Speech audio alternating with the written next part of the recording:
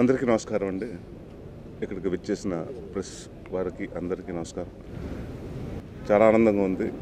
నాంది తర్వాత మళ్ళీ నేను విజయ్ గారు రెండోసారి ఈ సినిమా చేయబోతున్నాం. అండ్ ముఖ్యంగా ఒకటి చెప్పాలి ఇది నాంది సీక్వెల్ కాదండి. ఉగ్రం అనేది రీమేక్ కాదు. ఇది స్ట్రైట్ సబ్జెక్టే ఆ టైటిల్ మాత్రం పెడతాం జరిగింది. అండ్ ఈ సినిమా గురించి దీని గురించి నేను తర్వాత ఎక్కువ ప్రెస్ మీట్ వేరే ప్రెస్ మీట్లో మాట్లాడతాను.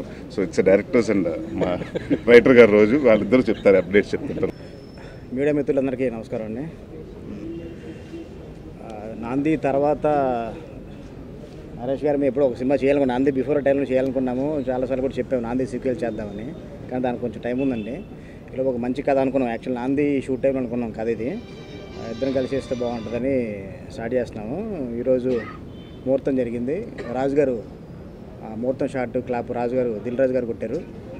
అనిల్ రావుడు గారు ఫస్ట్ షాట్ డైరెక్షన్ చేశారు. దామోదర్ ప్రసాద్ గారు కెమెరా స్విచ్ ఆన్ చేశారు. స్క్రిప్ట్ వచ్చేసి మా పేరెంట్స్ మా అమ్మ నాన్నగారు నాకు అందించారు ఉగ్రం గురించి ఇంత అంటే ఇంత ఎర్లీ స్టేజ్లో చెప్పడం కూడా కరెక్ట్ కాదేమో. మిగతా తర్వాత తర్వాత ప్రెస్ మీట్లో మాట్లాడుకుందాం. కాకపోతే నాందిలో ఉన్న హీరో క్యాటర్న్కి ఒక ఒక ఉగ్ర రూపం యాడ్ చేస్తే ఎలా ఉంటుందో కొంచెం అలా ఉంటుందండి. ఇది ఒక యాక్షన్ థ్రిల్లర్ ఇది. ఒక చిన్న సోషల్ డ్రామా ఉంటుంది. థ్యాంక్ యూ షెడ్యూల్స్ అంటే ఇప్పుడు మన ఇండస్ట్రీ కొంచెం స్ట్రైక్లో ఉంది. ఆ స్ట్రైక్ కాలపై పేరెంట్నే సంథింగ్ ఫస్ట్ వీక్ ప్లాన్ చేస్తున్నాం. అది అయిపోయిన ఒకసారి అఫీషియల్ మీకు కూడా అందరికీ తెలియజేస్తాం. ఎప్పుడు నుంచి షూట్ అన్నది నమస్కారం అండి. మళ్ళీ నాంది టీం అంతా. నేను ఆ రోజు సక్సెస్ మీట్లో ఒక మాట అన్నా. కథకి చేతులు కట్టుకుని తలదించుకునే టీం ఇది అని. అదే టీం మళ్ళీ ఈ సినిమాకి పనిచేస్తుంది.